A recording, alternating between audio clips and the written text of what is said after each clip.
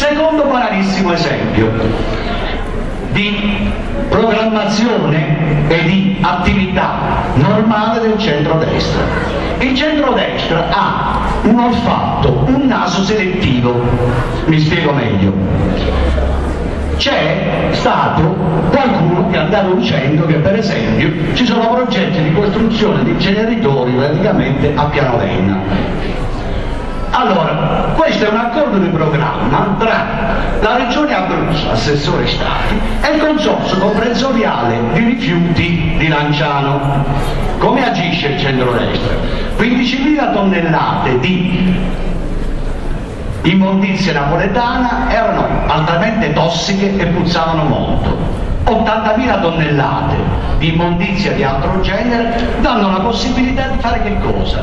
Di ottenere 4 milioni di, di finanziamento per costruire due piattaforme di selezione e per ricevere, ampliando la volumetria, perché vedete, per la mondezza succede la stessa cosa per lo, che per l'ospedale, le fasce tricolori diventano frecce tricolori, quindi prima presidiano e poi fuggono. E nel momento in cui praticamente ci si trova di fronte ad una realtà come questa, la discarica consortile di Cerratina che tutti difendevano strenuamente diventa la discarica dell'Abruzzo con un presupposto di tipo organizzativo che è il presupposto del, tele, del termovalorizzatore o inceneritore. Secondo esempio, ultimo esempio, per concludere brillantemente, è il fatto che noi, soprattutto io, tiriamo fuori numeri Vedi queste fascette colorate?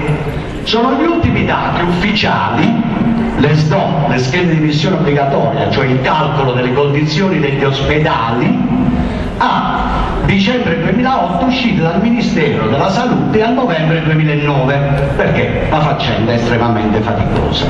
Allora, se qualcuno ha voglia di divertirsi non i progetti di piano sanitario dell'assessore Sventoloni, perché il punto di fondo è che ce lo dicono da un anno e mezzo, ma non si vede uno straccio di carta, esattamente come succedeva dal 2000 al 2005, quando finalmente hanno tirato fuori la delibera di giunta 1037 che diceva il privato fa quello che vuole, il pubblico soffre. Quindi quando vi dicono, quando vi dicono stanno preparando il piano sanitario, sappiate che questo piano sanitario non ha ancora neppure un'idea progettuale.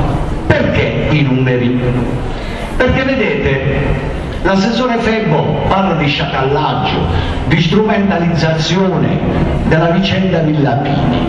State attenti, per quanto succede a Villa Pini, è lo stesso progetto di eutanasia, di distruzione lenta della realtà economica e sociale di 1600 famiglie.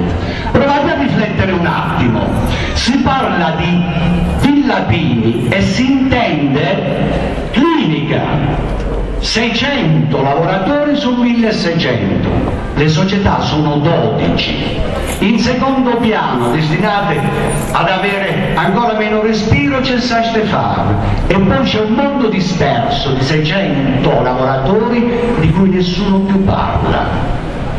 Questa è la logica. E nel momento in cui c'è questo tipo di logica, nel momento in cui chi deve decidere va a chiedere al suo referente che lo ha incaricato di decidere che cosa deve decidere, a quel punto che cosa succede?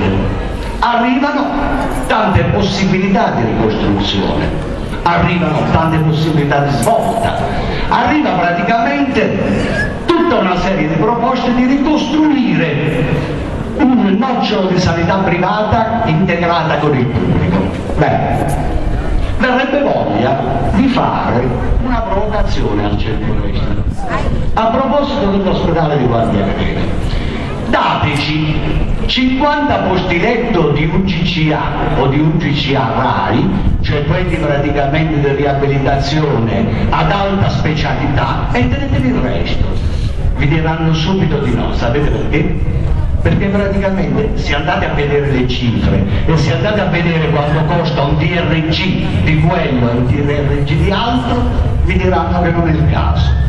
E allora noi, quando abbiamo deciso, con qualche fatica, con qualche distinto, ma noi tutto siamo perché omogenizzati, quindi sostanzialmente ci riteniamo nel pieno diritto di portare avanti ognuno perfetta relazione con gli altri questo tipo di progetto e che nessuno si illuda che ci mettiamo a litigare. Abbiamo troppa esperienza precedente per lasciare libero sfogo a quelli che non mai perché sono bravi, ma soltanto perché sono fessi di altri. Basta con la storia dei fessi che li fanno vincere. Chiaro? Allora, se noi abbiamo deciso di fare questo è perché abbiamo idea libera, anche banali, grande proviamo a fare praticamente cose quotidiane, ma abbiamo anche la voglia di sperimentare altro, perché vedete, no, siamo entrati nel turismo religioso. Io sinceramente tra miracolo eucaristico di Lanciano, San Tommaso di Ortone e San Tommaso Conetti non ce la faccio più, perché qua ci siamo di fronte ad una ricchezza è una ricchezza generale. In Abruzzo, abbiamo scritto sul programma, c'è il 7,3% del patrimonio turisticamente fruibile d'Italia l'Italia è il 70% del patrimonio turisticamente fruibile del mondo. Ma allora, vogliamo sforzarci non di aspettare che un patto Chiedino Ortonese o Sandro Aventino ci venga a dire che cosa dobbiamo fare. Vogliamo dire alla Regione che il sistema turistico locale ce lo costruiamo noi e non ce lo danno loro. Vogliamo negare la macro area? E allora vedete che il progetto per Guardia Greve in bene in comune è qualcosa che partendo di qua ha l'ambizione di arrivare molto oltre ma per arrivare oltre abbiamo bisogno del vostro contributo quotidiano, abbiamo anche delle vostre critiche, perché vedete, noi proprio perché, grazie, proprio perché non vogliamo non tutelari, non vogliamo non tutelari, ci vogliamo sperimentare assieme a voi. E quindi si dice libertà, partecipazione, le solite cose, si attuano sugli elementi concreti. Se c'è una scelta urbanisticamente rilevante, come può essere quella del campus, si decide tutti insieme e non si ricorre a quelli che sono metodi sotterranei. Quindi questa ambizione estremamente semplice che abbiamo, ma vi dico che noi non abbiamo solo questo tipo di ambizione.